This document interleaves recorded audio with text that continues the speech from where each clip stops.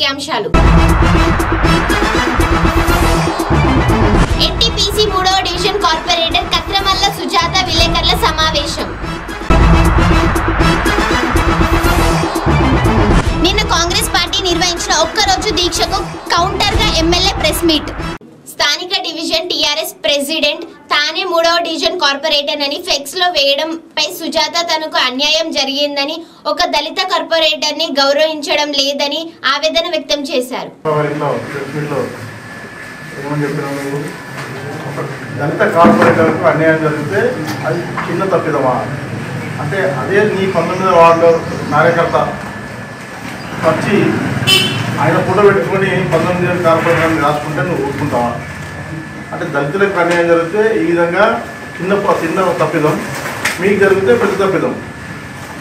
ఇది సరైన నిర్ణయం కాదు. తోటి కార్పొరేటర్గా కార్పొరేటర్కి అన్యాయం జరిగిందని మాట్లాడడానికి నేర్చుకో ఫస్ట్ ఎందుకని నేను ఏం చెప్పాను నీకు.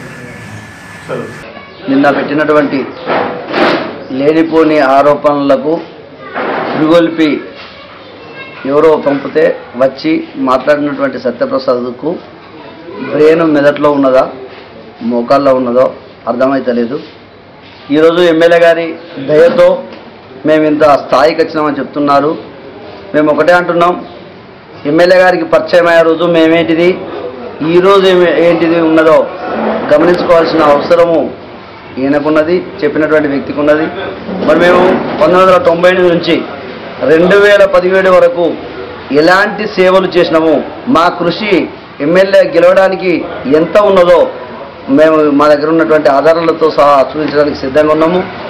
మరి ఈ ఆధారాలు కనుక అవసరమైతే పార్టీ అధిష్టానానికి పిలిపి చెప్పుకొని మమ్మల్ని కనుక గౌరవ మంత్రివర్యులు ఈటలందర్ గారి దగ్గర కానీ ఎంపీ గారిని సుమనను కానీ మరి ఈ నియోజకవర్గ ఇన్ఛార్జి కరస్ గారిని వేసినారు. వాళ్ళ ముగ్గురు సమక్షంలో మీరు కనుక మమ్మల్ని పిలిచినట్లయితే మేము మీకు గెలవడానికి ఎంత కృషి చేసినామో చెప్తాం. మరి మా మమ్మల్ని మీరు ఎంత అభివృద్ధి చేసినో కూడా మేమే చెప్తాము. మరి మీరు చేసినది గొప్పనా?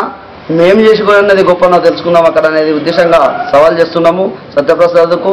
మరి మీరు మీ ఎమ్మెల్యేకి చెప్పి మరి మా ఈ పరిష్కారానికి మార్గం చూసుకుంటారా చూసుకోండి. లేదు అంటే లేనిపోయిన ఆరోపణలు చేసే ముందు అసలు నిజాలేంటియో తెలుసుకోవాల్సిన అవసరం ఉన్నది. మీరు ఎప్పుడొచ్చినారు ఎమ్మెల్యే దగ్గరికి ఎన్నడొచ్చి ప్రచారం మొదలుపెట్టారు గెలిచిన తర్వాత వచ్చి ఎమ్మెల్యే అంటే ఉంటే అయ్యాల ఎమ్మెల్యేకు మేము సా అండగా ఉన్నామని కాదు. మేము కూడా కష్టకాలంలో ఉన్నాము కష్టాలు ఎదుర్కొన్నాము. ఈరోజు కింగ్ తయారు చేయడం కోసం మేమంతా కష్టపడి పైకి మా పైకి వచ్చే విధంగా మేమంతా కృషి చేస్తే ఈరోజు ఎమ్మెల్యే కాగానే మమ్మల్ని ఈడ్చి ఇజా బజార్న పడేసిన ఘనత వారికి ఉన్నది. అటువంటి లేనిపోని వ్యవహారాలు చేస్తూ ఏదో చీప్ మెంటాలిటీగా స్టాండింగ్ కమిటీలో కాంగ్రెస్ని గెలిపించారు. మాకేం సంబంధం అండి? దానికి మాకు సంబంధమే లేదు. ఈ నియోజకవర్గ ఇన్ఛార్జి బాధ్యత తీసుకోవాల్సిన అవసరం ఉంది. దానికి నా నైతిక బాధ్యత వహించాల్సిన బాధ్యత వారికి ఉంటుంది. మమ్మల్ని స్టాండింగ్ కమిటీ దుమారం పేరు మీద గ్రూపులుగా విడదీసి కొంతమంది కార్పొరేటర్లను మేయర్ దిక్కు బలవంతంగా నెట్టేసి అమాయకులైన కార్పొరేటర్లందరినీ మేయర్ గ్రూప్ అని ప్రకటిస్తూ మరి నా గ్రూప్ వీళ్ళే అని చెప్పి గ్రూపులు తయారు చేసింది ఈ- ఈ రామవరం నియోజకవర్గంలో ఎవరండి? మరి ఈరోజు ఉద్యమంలో మొదటి నుంచి పార్టిసిపేట్ చేసిన వాళ్ళందరినీ ఎక్కడ ఎక్కడ ఉంచినాం మనము? అది కూడా గుర్తెరగాలి. మరి వాళ్ళంతా ఎక్కడ ఉన్నారు ఈరోజు నీ దగ్గర వచ్చి ఉంటున్నారా? మరి పోనీ మీరు తెలుగుదేశంలకు కాంగ్రెస్ నుంచి వచ్చేటప్పుడు కాంగ్రెస్ నుంచి వచ్చినటువంటి సీనియర్ లీడర్లు ఎంతమంది వచ్చినారు? మరి కిషన్ రాజమని తప్ప ఇంకెవరైనా వచ్చారు? అది కూడా గుర్తిరగాలి. అట్లాంటివి కాకుండా పోనీ కా అక్కడ నుంచి టీఆర్ఎస్లకు వచ్చినప్పుడు కూడా ఇవన్నీ మానుకొని మా మీద ఆరోపణలు చేసే చేయడం అనేది బంద్ చేసుకొని మంచిగా కనుక ఉంటే పార్టీని రక్షించే ప్రయత్నం మనమంతా చేద్దామని. నిన్న కాంగ్రెస్ పార్టీ నిర్వహించిన ఒక్కరోజు దీక్ష ప్రజలను మభ్యపెట్టడానికి మాత్రమేనని టీఆర్ఎస్ ప్రభుత్వం సమర్థవంతంగా పనిచేస్తుందని కేసీఆర్ ఇతర రాష్ట్రం నుండి పవర్ తీసుకొచ్చి ఆరు గంటలు ఇచ్చారు. ఇప్పుడు ఇరవై నాలుగు గంటలు పవర్ ఇస్తున్నామని పదిహేను వేల కోట్లు ఖర్చు చేస్తుంది. రైతులను అన్ని విధాలుగా ఆదుకుంటామని గత ప్రభుత్వంలో ఎవరూ ప్రజలకు ఎటువంటి మేలు చేయలేదని ఎమ్మెల్యే మాట్లాడారు. మీడియా మిత్రులకు ఎలక్ట్రానిక్ మీడియా మిత్రులకు అందరికీ కూడా నా హృదయపూర్వక నమస్కారం. యథాప్రకారంగానే సాగు తెలివి వచ్చినట్టు అరవై సంవత్సరాల పాలనలో ఏమీ చేయలేక తెలంగాణ నుంచి పట్టించుకోక ఈరోజు తెలంగాణ సాధన జరిగి గొప్పగా తెలంగాణ అభివృద్ధి జరుగుతుంటే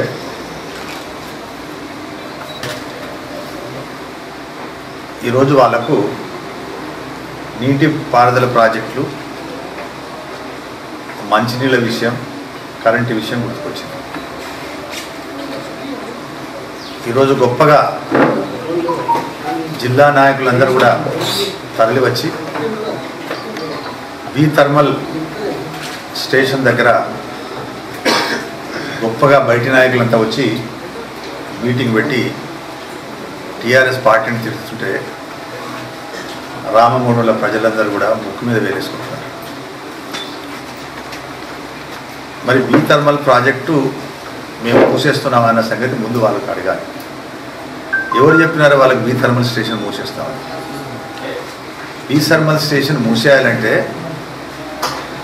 దాని సామర్థ్యం కానీ దాని లైఫ్ కానీ పూర్తయి ఇప్పటికే మూడు సంవత్సరాలైంది. కానీ దాన్ని అప్డేట్ చేసి కావలసిన బేరింగ్లు అవి మార్చి ఈరోజు దాన్ని నడుపుతున్నది టీఆర్ఎస్ ప్రభుత్వం. అది దానంతట అదపడి అనెకనామికల్ అయి మూతపడితే తప్ప మూసివేసే ప్రోగ్రాం టీఆర్ఎస్ ప్రభుత్వానికి లేదు.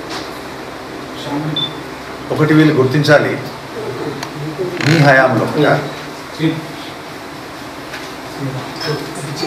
బొగ్గు నీళ్ళు ఇక్కడ ఉన్నప్పటికీ కూడా ఎందుకు మీరు ఒక్క ప్రాజెక్ట్ కూడా రామగుండంలో పెట్టలేదు అడుగుతున్నాను అది పోయి ఒకటి బీపీఎల్ ప్రాజెక్ట్ పెడతాను ఒక ప్రైవేట్ వాడు వస్తే వానికి పీపీఏ చేయడం మళ్ళీ క్యాన్సిల్ చేయడం మళ్ళీ పీపీఏలో మళ్ళీ క్యాన్సిల్ చేయడం ఈ రకంగా రకరకాల గోస పెట్టి మరి పారదోలింది మీ ప్రభుత్వం కాదా అని అడుగుతున్నాను. రెండు నుంచి ఆరు వేల ఆరు వందల మెగావాట్స్ను ఎవాక్యువేట్ చేసి ఇతర ప్రాంతాలకు తీసుకుపోవాలంటే ఎంత కష్టమవుతుందో మీకు ఎవరికి టెక్నికల్ గైడెన్స్ లేదు. వారు ఇంకో మాట అన్నారు నాతోటి. మీ రిక్వెస్ట్ సభ్యవేసత్రాయణ ఆరు వేల ఆరు వందల మెగావాట్ల పొల్యూషన్ నీకు సరిపోదా? ఇంకా పొల్యూషన్ కావాలని ఎవాక్యువేట్ చేయడం కష్టం పొల్యూషన్ తప్పుకోవడం కష్టం. ఆంధ్ర ప్రాంతాల్లో మీ ప్రభుత్వం ఉన్నప్పుడే లాఠీ చార్జీలు ఫైరింగ్లు అయినాయి. పౌరులు పెట్టాలంటే మీరు ఒక విషయానికి జవాబు చెప్పాలి. పవరు వాటరు వా పవర్ డిమాండ్ వాటరు కోలున్న తెలంగాణ లోపల తక్కువ పౌరదులు ఎందుకు వచ్చినాయి? ఎక్కువ పౌరదులు ఆంధ్ర రాయలసీమల ప్రాంతాలు ఎందుకు వచ్చినాయో మీరు జవాబు చెప్పాలి. యాదాద్రి మూలకి పెడుతున్నాం అన్నారు కానీ మీరు జవాబు చెప్పాలి దానికి. మీరు చెప్పలేరు. ఎందుకంటే మీరు చాలా క్లియర్గా తప్పు చేసి కూర్చున్నారు మీ దగ్గర జవాబు ఉండదు దానికి.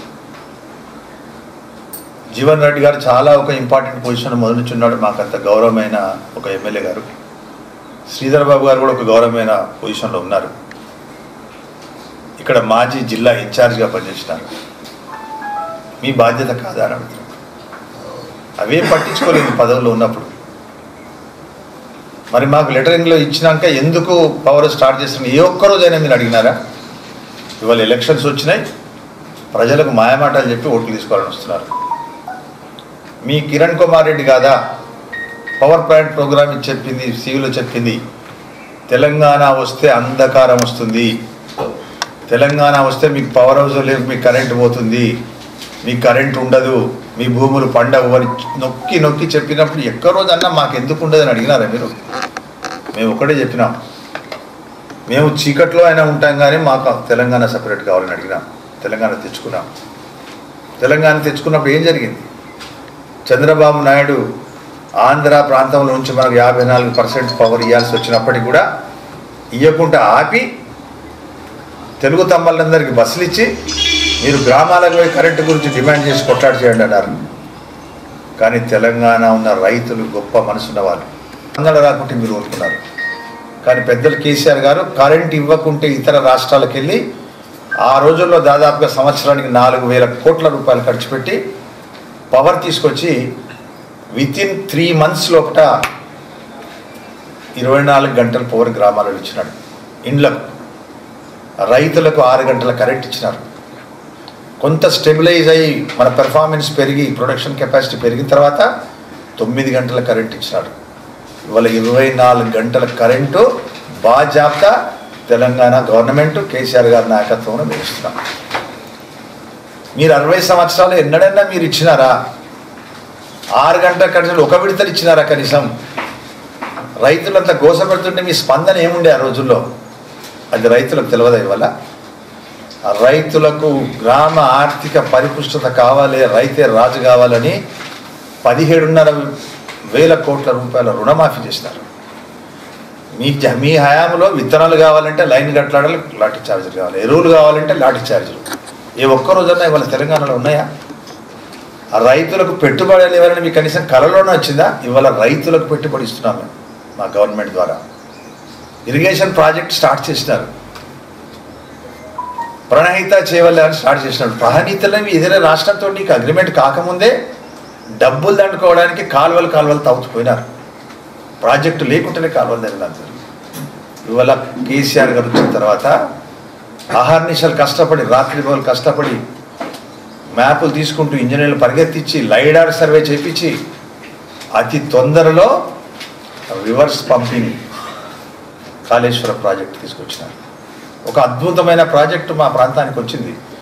ఇవాళ సింగరేణిది చేసినాడు. సింగరేణిది మేము తెలంగాణ తీసుకునేటప్పటికి ఏ పరిస్థితిలో ఉండేది? పావుల మందం కూడా పని కాలేదు. అహర్నిశలు మూడు సార్లు కేసీఆర్ గారు అక్కడికి విజిట్ చేసి డే టు డే మానిటర్ పెట్టి ఇక్కడ కెమెరాస్ తోటి అబ్జర్వ్ చేస్తూ వరకు అట్లా వరకు పరిగెత్తించి కమిషనింగ్ చేసినారు. చేసింది కనుక త్వరగతిలో కమిషనింగ్ అయింది.